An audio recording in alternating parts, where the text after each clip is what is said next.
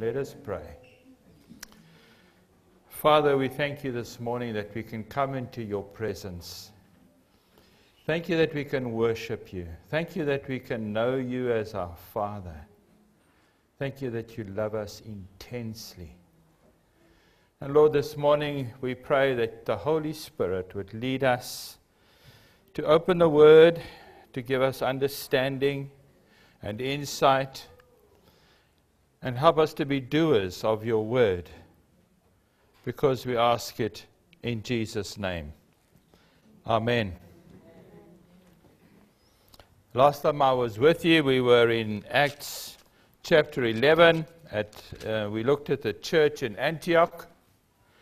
And uh, I'm actually going to skip chapter 12. I'll come back to it. And we're going to jump straight into Acts 13. And we looked at three aspects of the church last time. And we said the church in Antioch, as we saw it, was a laboring church. They worked hard. They went from Jerusalem to Antioch, and they, you know, they really worked hard uh, to become a church. They were a learning church. They went and fetched Paul from Tarsus, and he came, and uh, he spent time teaching them. And then we saw he, they were a loving church because they sent gifts back to the church in Jerusalem when they were facing hardship. And so today we're going to carry on now, but in Acts 13. And again, as I said last time, and I'll just repeat it again, we, we see that this whole book of Acts is a, is a pivot between the Gospels, the words of Jesus, and then the writings of Paul and other writers as they write the, the letters uh, to the different churches. And then, of course, as John ends up in Revelations. And so today I'm going to be talking about two more words, and the first one is a leading church. The church in Antioch was a leading church. Let us turn in our Bibles to Acts 13, and I'm going to read from verse 1.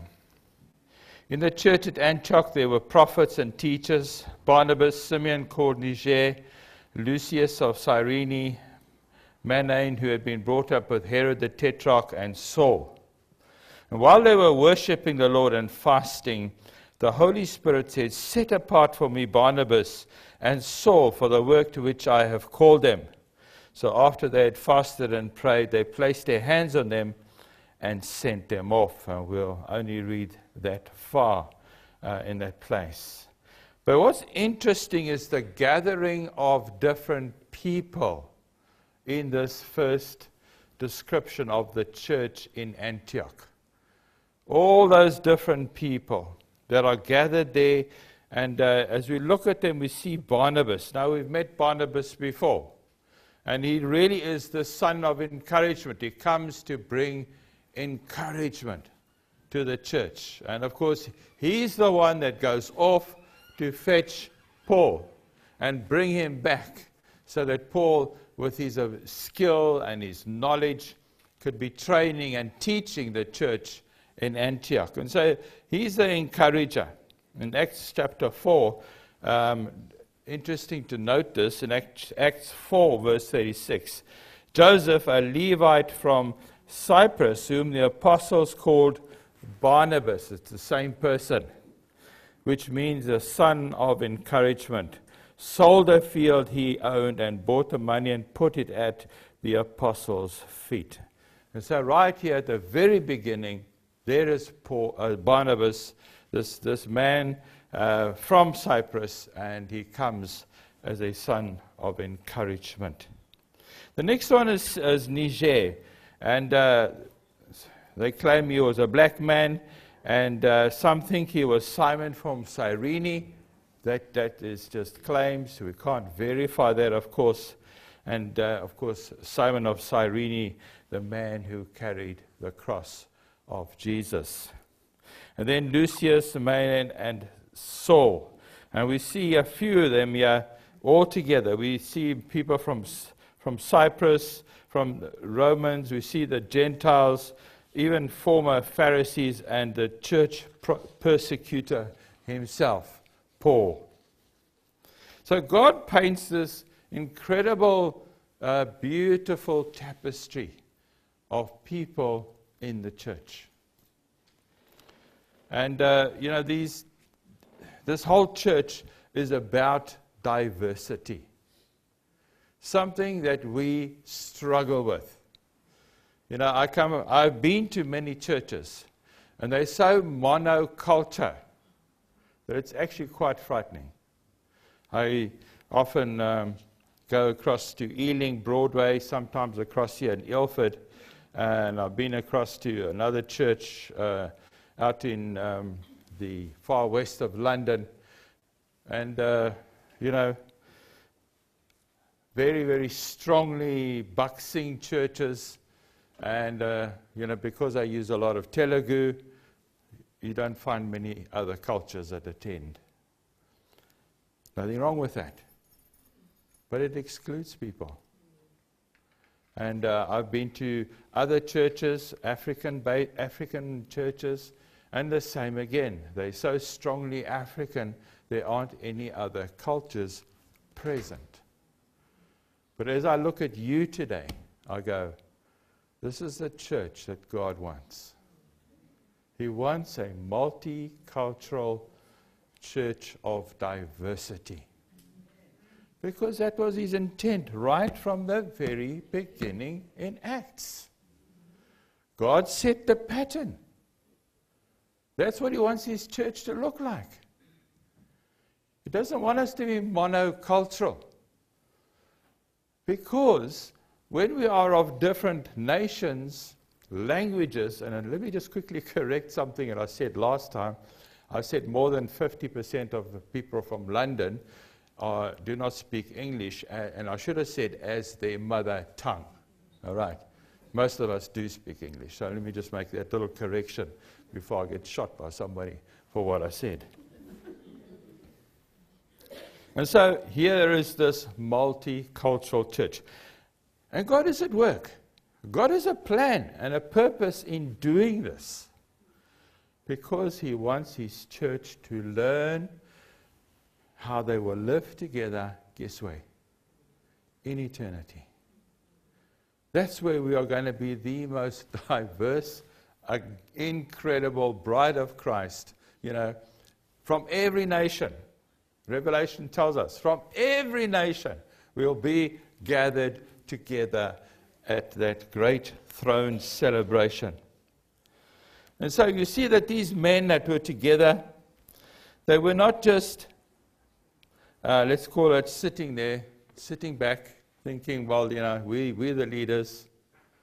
They were busy people. They were busy people.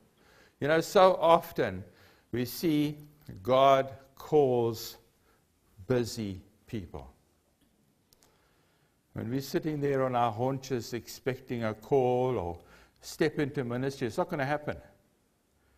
God says to you, get on with it. The things that you have at your hands, get on with it. Just move. Move with the Spirit. You know, let's move forward. And God starts then to add to you all the things that He wants you to do. And so, you know, these were not people in control. These were not people that were giving orders. They were worshiping, fasting, and praying. And that's really, if we think of the elders, that's where they should be. That's where they should be. On their knees, worshiping, praying, and fasting.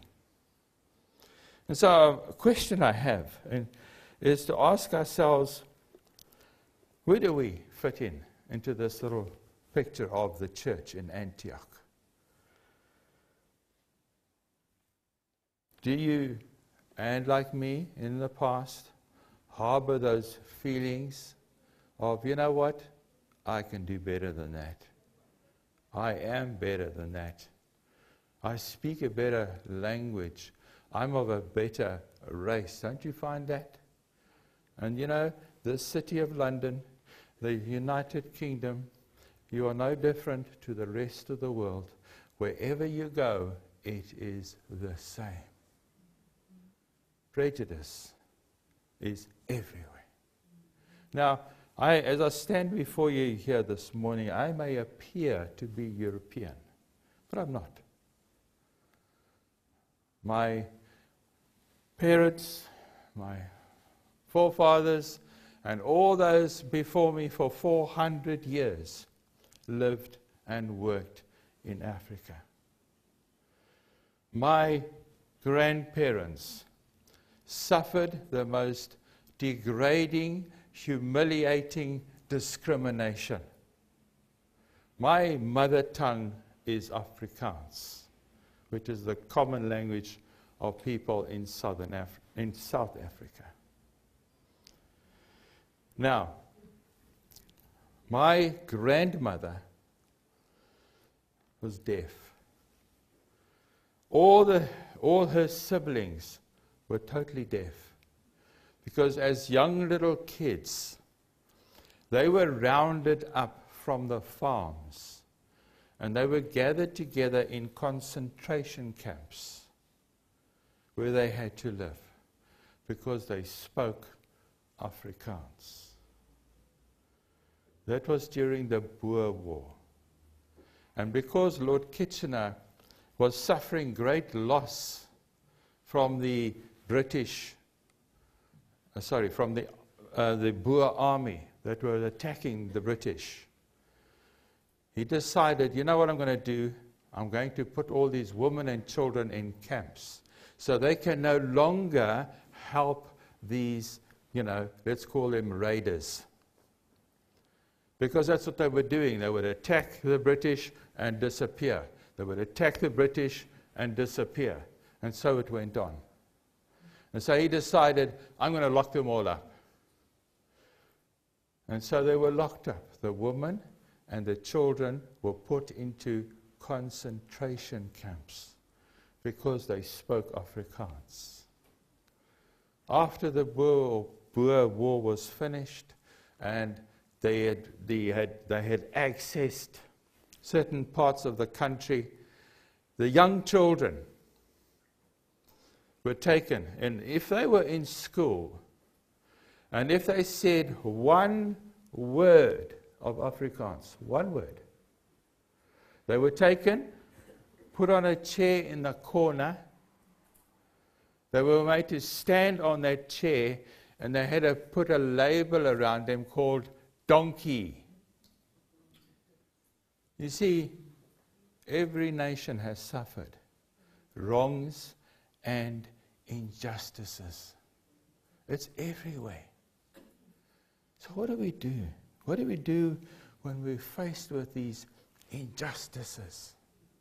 Well, let's have a look at what happened here in this church in Antioch because they set a model for us.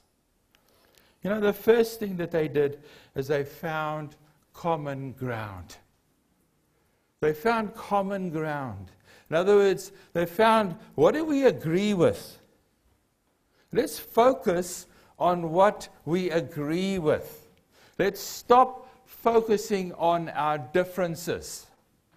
Because that's what we do when we're faced with discrimination. People focus on our differences. And they say, You can't do this because you're from that race or that culture or that language. And they judge you before you've even had an opportunity to show who you are as a person. So we, like in this church, should focus on what is common among us. Look at 1 Corinthians 12 and verse 13. It says this Live in harmony with one another. Do not be proud, but be willing to associate with people of low position. Do not be conceited. And so Paul tells us there, you know, be willing to mingle and mix with the low in society those that society rejects. We've got to mingle with them. Every Sunday when I come here, and I turn off the uh, North Circular onto this main road over here to come to the church, there's a tram. And he's been there for two Sundays now that I've seen him there. And he's standing there like this, just leaning on the side of the road, desperate. Doesn't know what to do with himself. He's low class. He's been rejected. Who's going to help him? You know, I said to Linda, well, let's look. I was quickly trying to find some money, so I don't normally carry cash. I was trying to find some money in my car, but unfortunately the robots changed. Sorry, I should say traffic light changed. And we had to move. You see, those are the people we should be talking to, having conversations with. And then the second thing is we need to find harmony.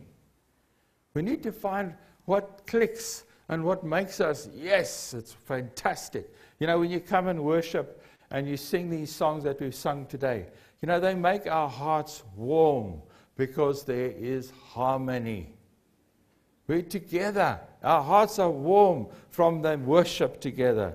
Romans 12, verse 16. Live in harmony with one another. Do not be proud, but be willing to associate with people of a low position. Do not be conceited.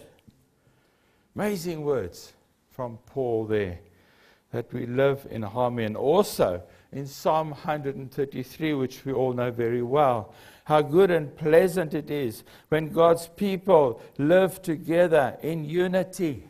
Wow. Beautiful, beautiful. But you know what? We, as we all have our own interpretations and our own ways of thinking, we, it's inevitable that we are going to disagree about something. You know, you, will sit around a, a passage of scripture, and somebody will argue this point, and somebody will argue that point because that's how they perceive or understand that passage of Scripture. What do you do? You beat them into silence with verbal abuse, dominate them? No. You agree to disagree. You agree to disagree. You just say to them, in love, we do not agree, but I still love you as my brother or sister. Look at Paul and Barnabas. What happened to them? Interesting. If you turn to jump a bit forward to Acts 15, I'm going to read there for you. Sometime later, Paul said to Barnabas, Let us go back and visit the believers in all the towns where we preached the word of the Lord and see how they are doing. Barnabas wanted to take John, also called Mark, with them. But Paul did not think it was wise to take him because he had deserted them in Pamphylia and had not continued with them in the work. They had such a sharp disagreement. Listen to these words.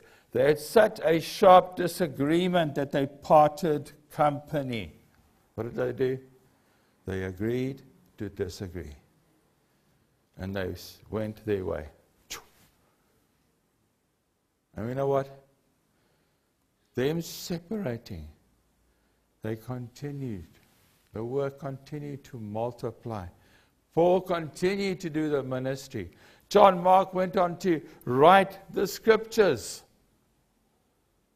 Barnabas continued to encourage. They didn't stop. You know, oh, you know, did you hear what he said? I'm not going with you. No. They carried on. They agreed to disagree.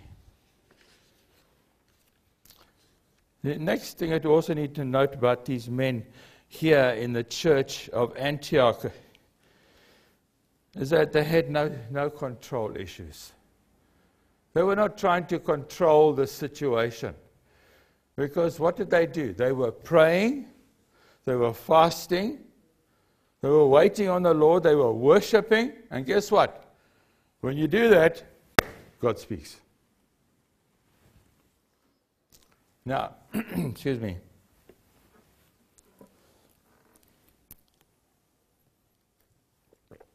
I have for many years, many years, struggled with prayer meetings. Not because I don't want to be praying, but because I find them is that we get to the prayer meeting and we say, Right, Lord, are you listening? Here we go. One, two, three, four, five, six. You got that? Thank you. Answer all of them. Goodbye. We have a shopping list. It's all good once. He wants a conversation. You speak, he speaks. That's pray. My students back in Zimbabwe, I taught them how to have a prayer that is a conversation with God. And we would have a day of prayer and fasting. And so we would come together and we would be worshiping and when we felt the time was right, we would go and we would start to pray. And I would say to the students, I want you to sit in silence and hear what God is saying to you. And then you tell me what that verse of scripture is. And I wrote it on a whiteboard in, the, in the lecture class. Well, we would sit the whole morning. And this one would pipe up, that scripture. That one would pipe up, that scripture. That one would pipe up, that scripture. By the end of the morning, we had a board full of scripture verses. And then I would go and stand at the back of the hall and I would look at that board and I would say, Lord, what is the common theme on that board? I can promise you, every single time, God spoke. Every single time. He was saying the same thing to everybody in that prayer room from different passages of Scripture. And then we knew what God wanted, wanted us to do because it was on the board. Now, some verses were slightly off because, you know, that happens. But the most of them were bang on target. And you know what? That is how God told us, a little small team, that we should mobilize the nation of Zimbabwe for a national day of prayer. That's how he told us. We didn't suck it out of our thumb. We did it like this. So our prayer meetings were like this. Every month when we would have our prayer meeting, we would do this. And so here are, guess what? These men, diverse, together, praying, worshiping, fasting. And guess what happened? God spoke. You look at it again. It says in verse 2 While they were worshiping the Lord and fasting, the Holy Spirit said, Set apart for me Barnabas and Saul for the work to which I have called them. See, that's when God speaks. When we're together, worshiping, fasting, praying, looking at the scriptures, getting all the saints together, saying, What is God saying? Writing it down on the board. Oh, let's check if there's a common theme here. Yes! Because the Holy Spirit is speaking.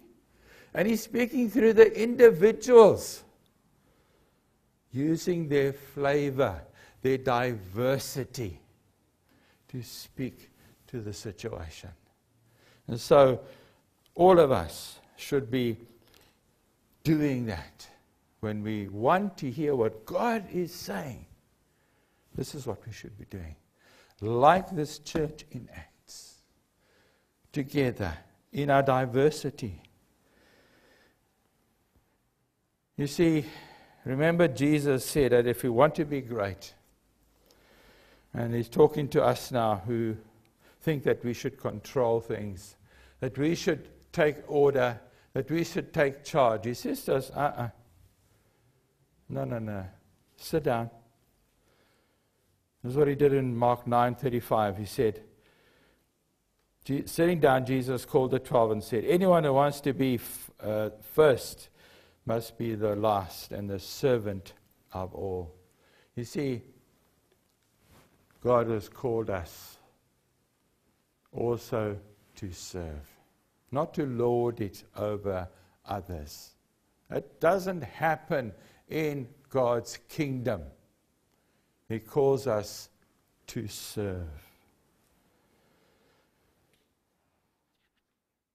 Philippians 2, just to continue with this theme of serving.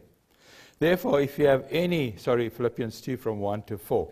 Therefore, if, if you have any encouragement from being united with Christ, if any comfort from his love, if any common sharing of the Spirit or in the Spirit, if any tenderness and compassion, then make my joy complete by being like minded, having the same love, being one in the Spirit and of one mind doing nothing out of selfish ambition or vain conceit. Rather, in humility, value others above yourselves, not looking to your own interests, but each of you to the interests of others. And that's what we need to be doing.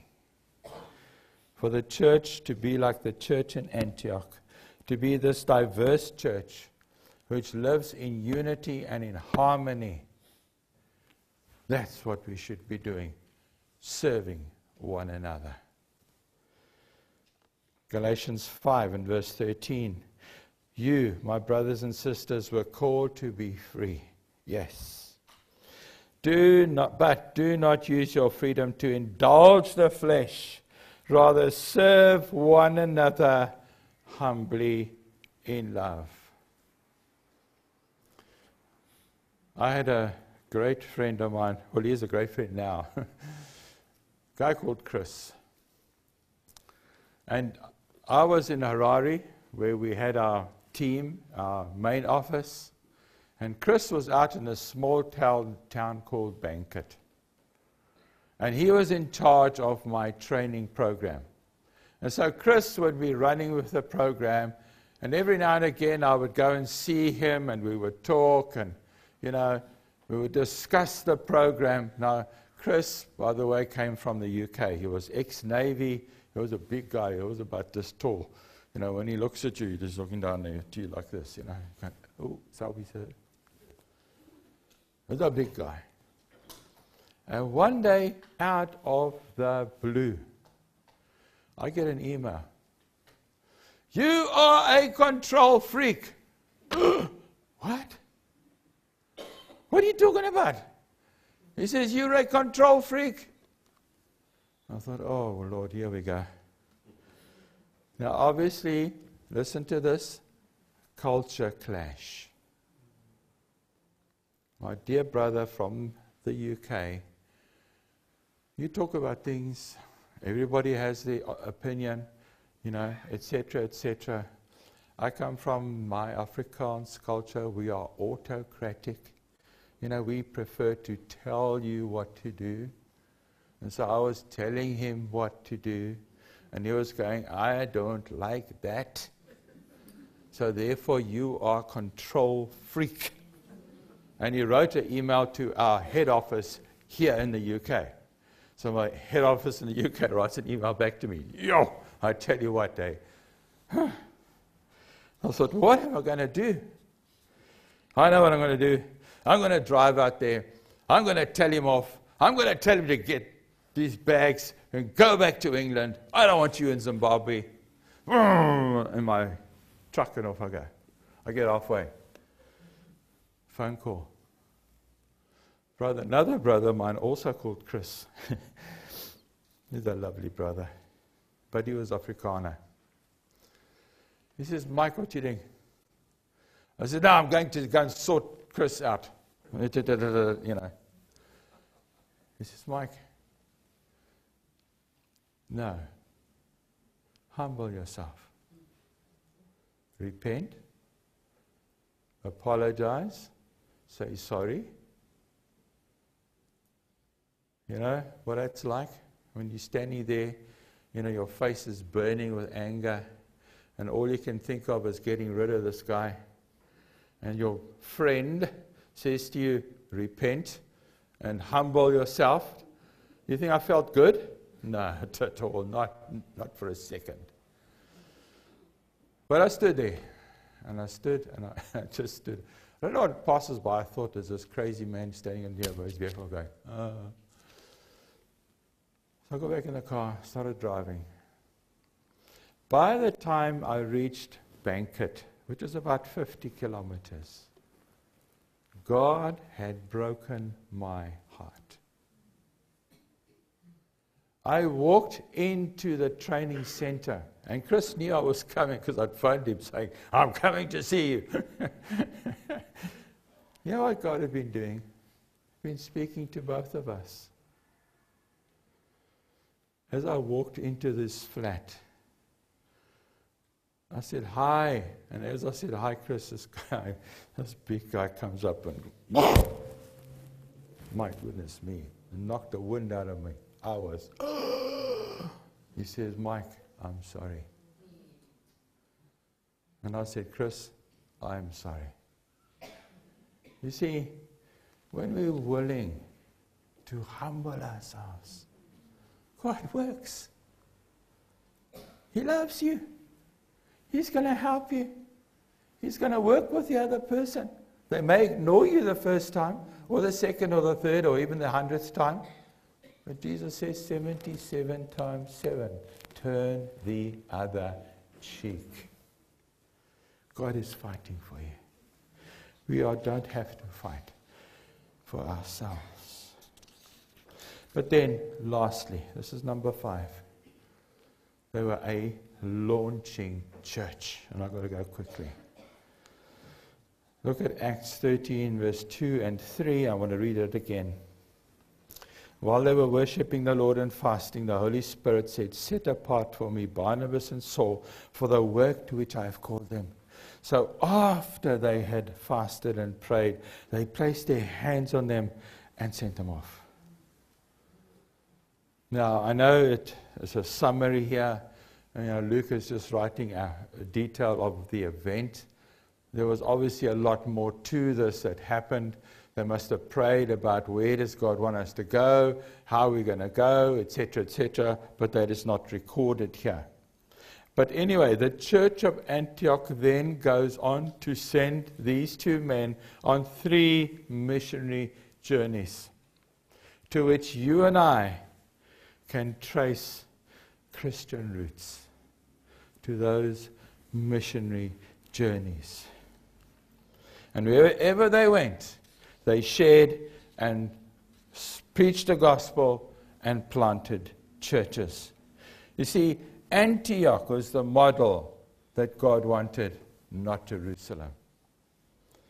You'd have thought he would have chosen Jerusalem, you know, surely. Uh-uh, he did not.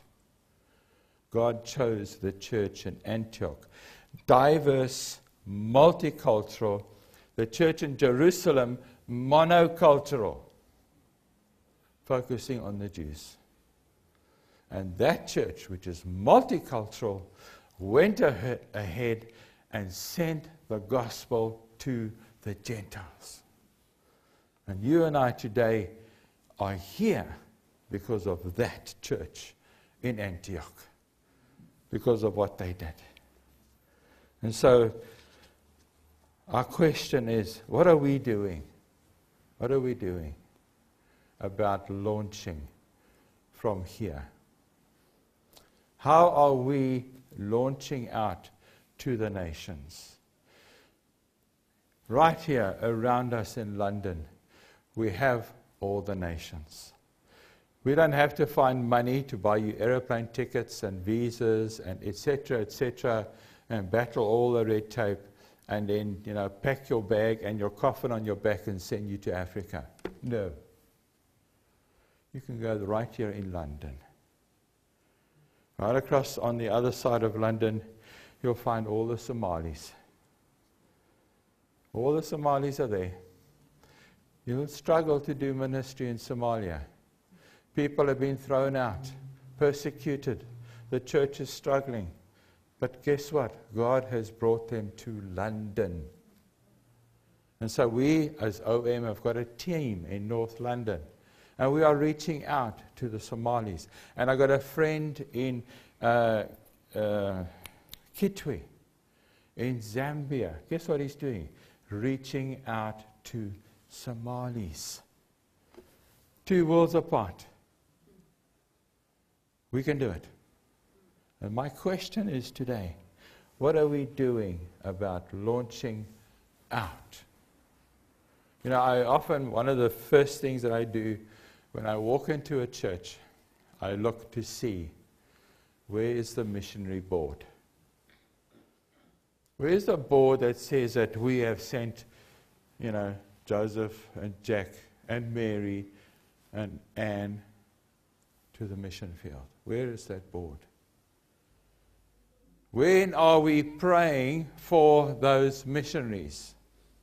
How can I send my gifts to the missionaries?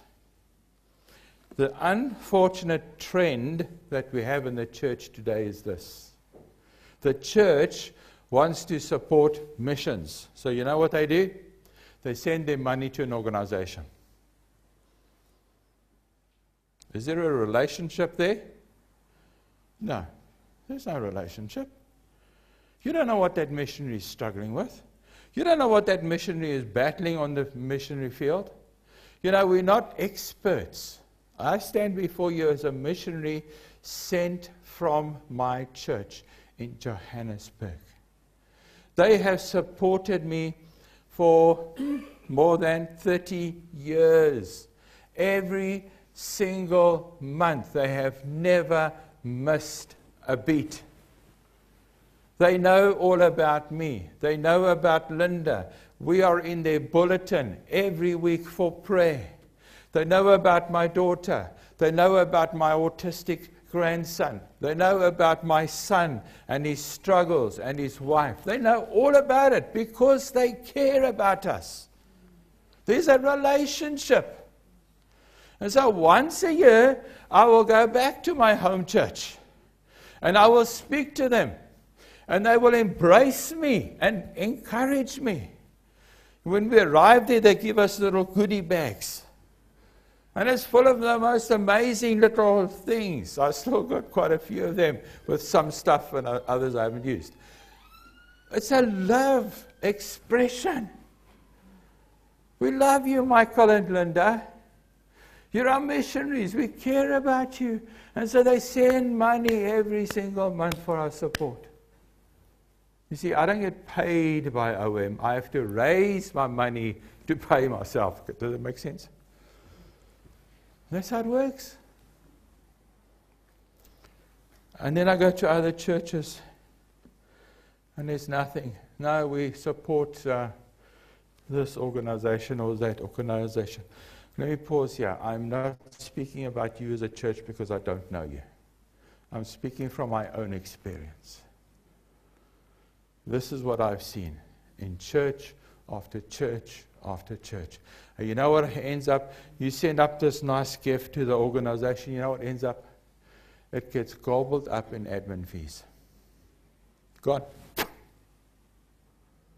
Now, OM have probably one of the lowest, what they call the lowest gearings in, in missions, where we, uh, right across, uh, take about 13% of all money that comes in to administer OM internationally.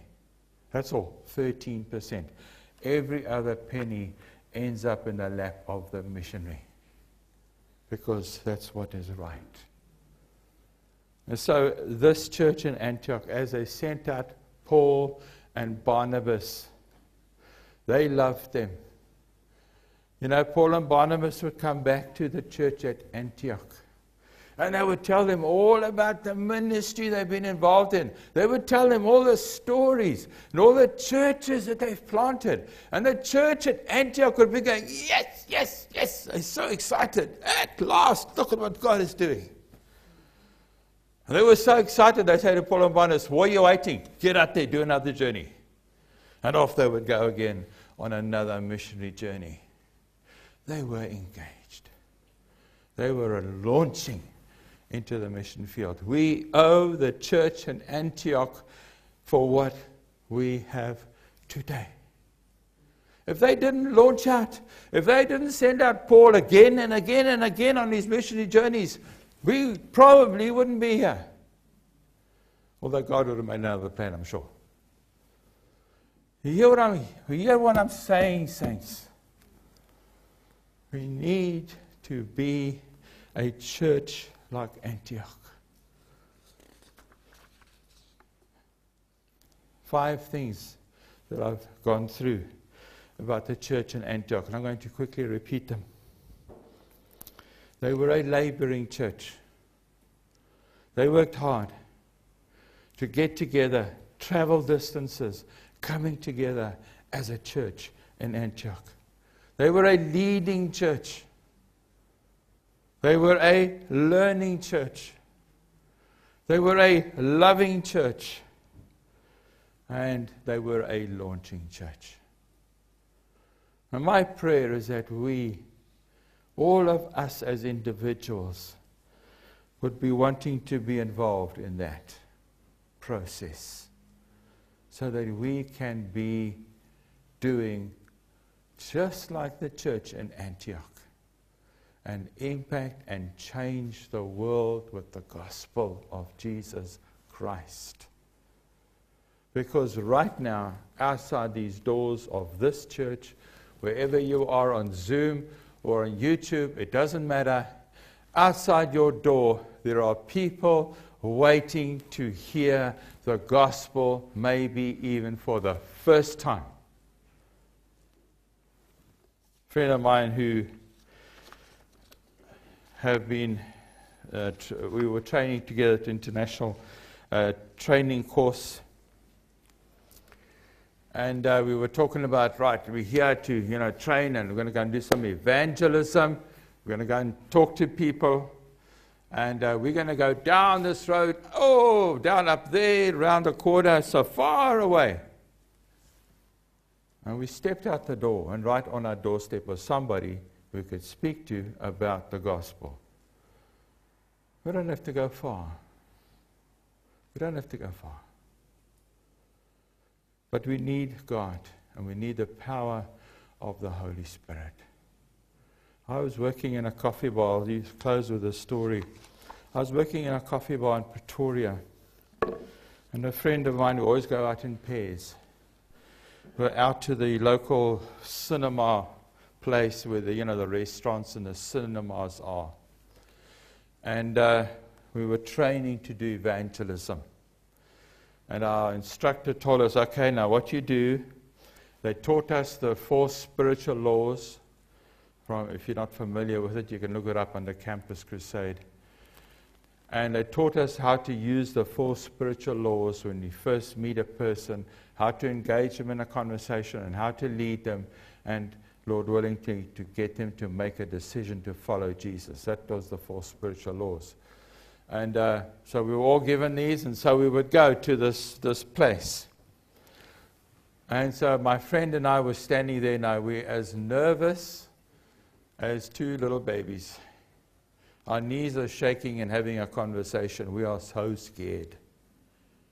You know, there's no such thing as, as it's natural. It's not. It's, you've got to work at it. You've got to overcome fear. Anyway, we prayed. And um, we decided, right, the first person that comes along, we're going to challenge him. Right, okay, good. So along comes this lady. She stops. We say, Hi, how are you? All the pleasantries. And we start to share about the four spiritual laws. And I could see she was hesitant. She was hesitating. And I said, You know what? I got on my knees and middle of this place. And I said, I want you to seriously seriously consider what Jesus has done for you because he loves you. And he wants you to know him. Well, that conversation carried on a little bit. She did pray the sinner's prayer. We gave her material and she left. But that's not the main story. Across the atrium on the other side was a man that was watching us. And he'd been watching us for quite a while. So we all went now, finished, and you know, the, mo- the cinemas, the movies had finished, and everybody left and went home. And so we decided, well, let's go back to the coffee bar. We get back to the coffee bar. We all, yep, yep, yep, yep, yep. We were all telling our stories of how exciting it was. Knock on the door. Hello, how can we help you? He says, There's those two men there. I want to talk to them. Whew. Now he's scared.